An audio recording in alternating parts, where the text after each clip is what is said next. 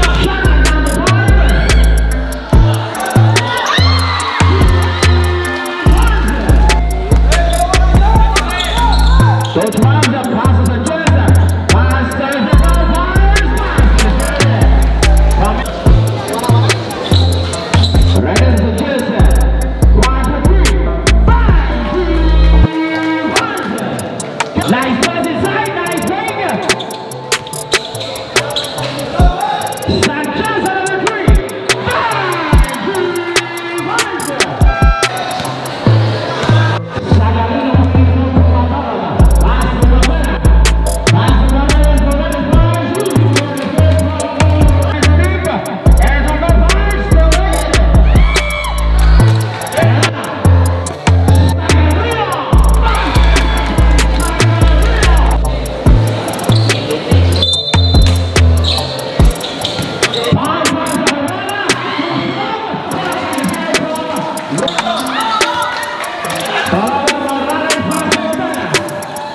Vamos!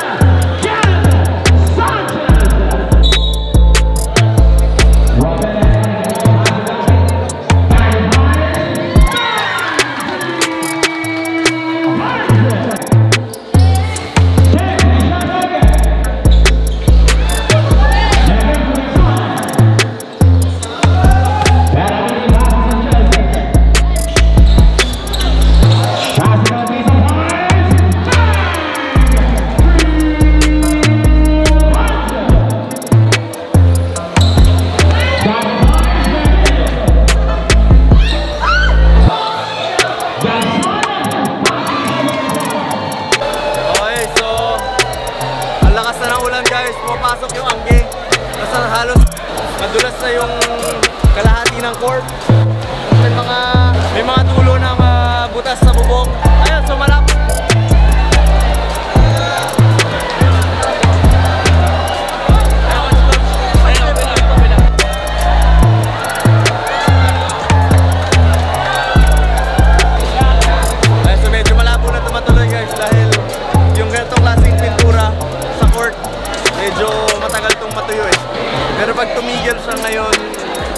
tumigil ka agad, damaan lang.